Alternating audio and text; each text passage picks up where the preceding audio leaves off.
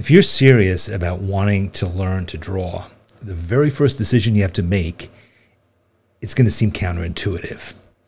Put down your pencil and pick up a pen. What? I can hear the cries and moans coming from everybody watching this video. What?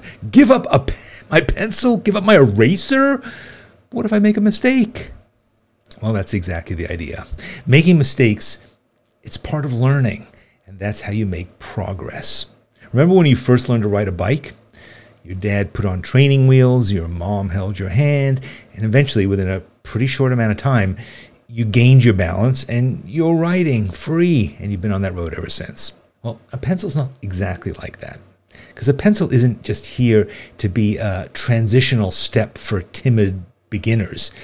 It's an important drawing tool that artists use all the time, but it's not intended to be a crutch. And when you look at artists' pencils, they never have erasers on the other end. That's because as an artist, you don't go into the process of drawing assuming that you're going to make a mistake. You go in to express yourself and to do it clearly and confidently. And a pen allows you to do all these things.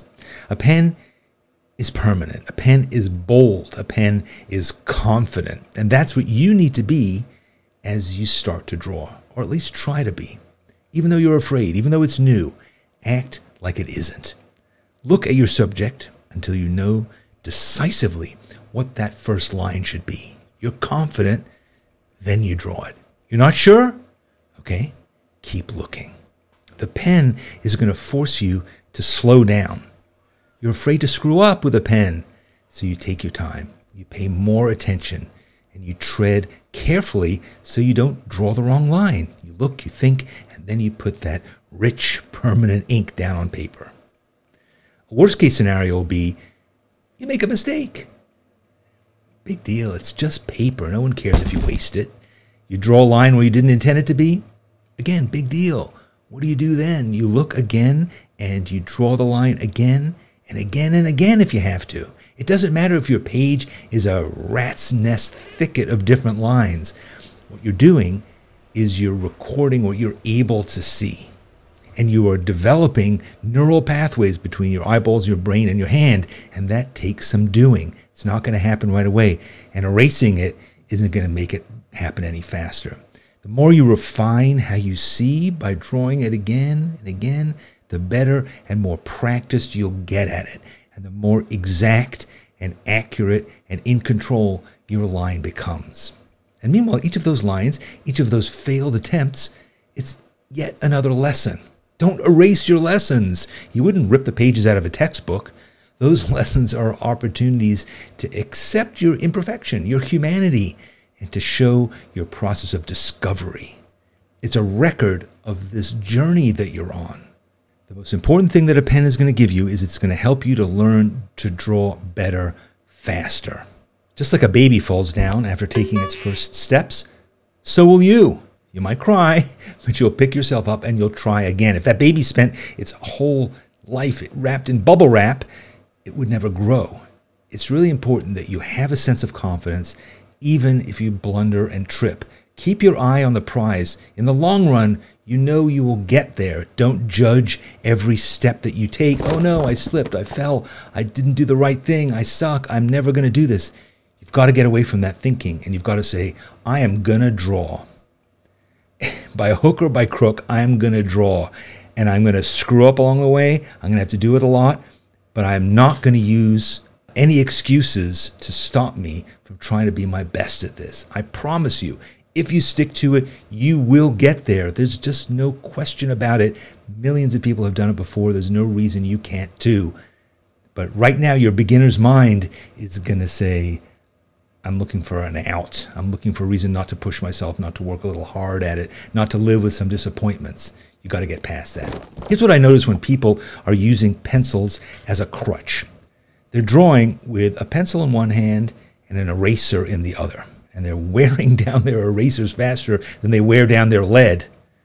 Again, they're proceeding with the assumption that they will make a mistake, a mistake that needs to immediately be removed, be denied, be forgotten. But erasing the past is no way to make progress. Sometimes I'll see people making a very light sketch with a pencil, and then they draw the same line on top of it with a pen, and they erase the pencil lines. And I ask myself, why are you doing that? The only people who need to go through this process of producing a perfect, clean copy are professional illustrators. And at this point, I assume that you are not a professional illustrator yet. You're simply a person learning to draw. So you don't need to do your drawing over again in pen after you've done it in pencil. Don't strive for perfection. Reach for knowledge. Another thing that I see people do is drawing shaggy, hesitant lines. That means that they're afraid to commit. So they draw shaggy line, line, line, line, line, rather than choosing the correct path. They wouldn't do that with a pen. They wouldn't stammer and stutter. They would just say what they had to say. Just draw that first line with a pen. You don't need all these hesitations and approximations. You don't need the safety net. Your drawings don't need to be perfect. Act as if you are bold, confident, an artist. Channel that big swinging pen energy. Be it. Pencils make soft, gray, smudgy lines, and sometimes that's how you want to express yourself. A lot of great artists have used this medium, but that's going to come later. For now, aspire to make bold, confident lines that evoke who you are at your best.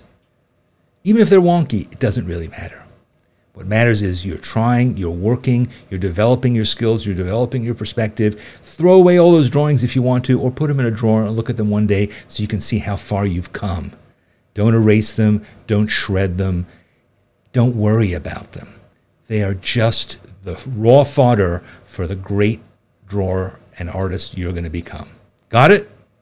Okay, I'm glad. Now put away your pencil, sit up straight, smile confidently, and grab your pen. Have fun.